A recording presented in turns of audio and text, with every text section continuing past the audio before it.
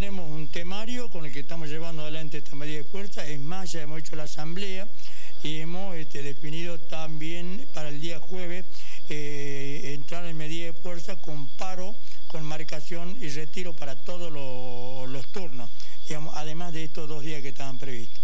Eh, la idea este, es este, reafirmar la necesidad que tenemos los trabajadores de la reapertura de las paritarias, eh, la de una compensación económica urgente y después los temas este, locales, ¿no? los temas propios, la necesidad que este, tenemos los trabajadores que venimos perdiendo de hace muchísimo tiempo el 7% de nuestro eh, sueldo con eh, la falta de pago por mala liquidación de parte del municipio eh, del decreto 4.371.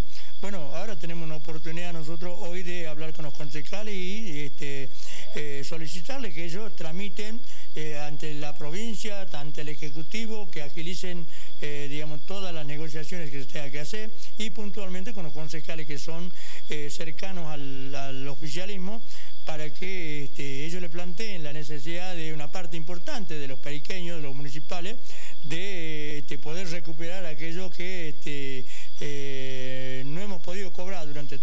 tiempo. En este momento no, están los concejales oficialistas, ¿no? Por ahí es una señal esto. Eh, sí, llegaron los dos concejales, están ahí, está el concejal Manenti, la concejal Pinto. del oficialismo de Ficoseco. Eh, del oficialismo este, nosotros le advertimos a Caliba que veníamos, eh, por ahí decimos un poco broma, un poco en serio, este, Caliba no te advertíamos que eh, veníamos para que te vayas, sino para que no esperé. después hablamos concejal Asmus y bueno, que gentilmente habló con Cardoso, ahí este, vino y que me dijo que si podía venir, venía. También está la concejal Caratoni.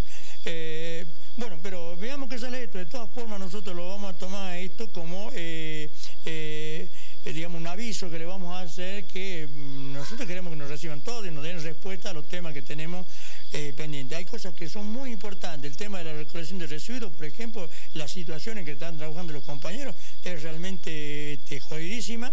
hay que mejorar todo esto y en esto tienen que tomar parte los concejales.